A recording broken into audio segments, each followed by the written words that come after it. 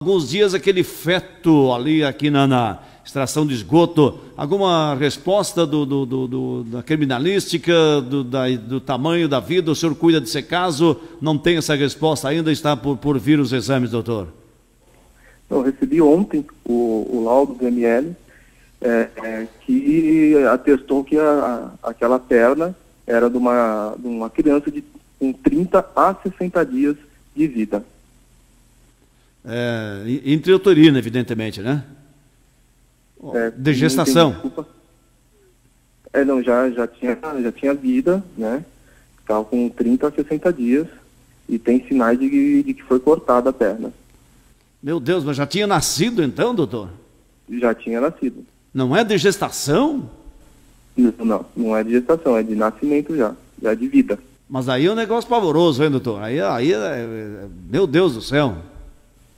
Pois é, ela é, é um, algo bárbaro aconteceu. Meu Deus do céu. Doutor, e, e, com relação a isso, sim, nós precisamos de muita informação. Se, se alguém viu alguém com uma criança, de repente não viu mais, isso sim a polícia, para pegar uma linha investigativa é muito complicado, né? Me parece, a grosso modo, ou não? Sim, a, a linha é muito complicada porque é. foi achado no, no meio da coleta de esgoto, né? Então você não sabe de onde veio essa peça. E o que a gente conta também é com informações né, de quem tenha conhecimento sobre, sobre isso, alguém que tenha visto alguém com, com um bebê que nasceu e depois sumiu, né? Deus do céu, agora sim, né? 181, qualquer outro contato com a polícia, é muito importante uma informação, porque um crime desses sempre deixa algum rastro. Me parece que todo crime deixa, né? E esse também não existe crime perfeito, me parece, né, doutor? Isso mesmo, sempre deixa algum rastro, mas a testemunha tem que nos auxiliar também. Meu Deus. Na sua carreira de policial, já viu algo semelhante na literatura policial? Assim, eu, eu que me lembre, nunca vi, né? Olha, em 12 anos de carreira, não, não tinha visto algo parecido, não. Já vimos abortos, é, morte de criança, é. mas assim, desse jeito, não.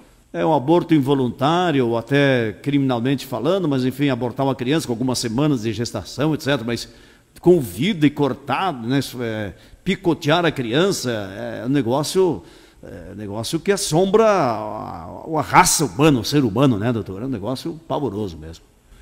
Sim, sim, com certeza. É, é algo que. algo hediondo, bárbaro, que é até complicado de trabalhar em cima. Doutor, mais do que nunca, força aí com sua equipe, eu sei que é diminuta, mas é uma equipe de qualidade, são valorosos policiais e com a ajuda da população vamos descobrir este infanticídio, assim que chama, né? Infanticídio, né, doutor?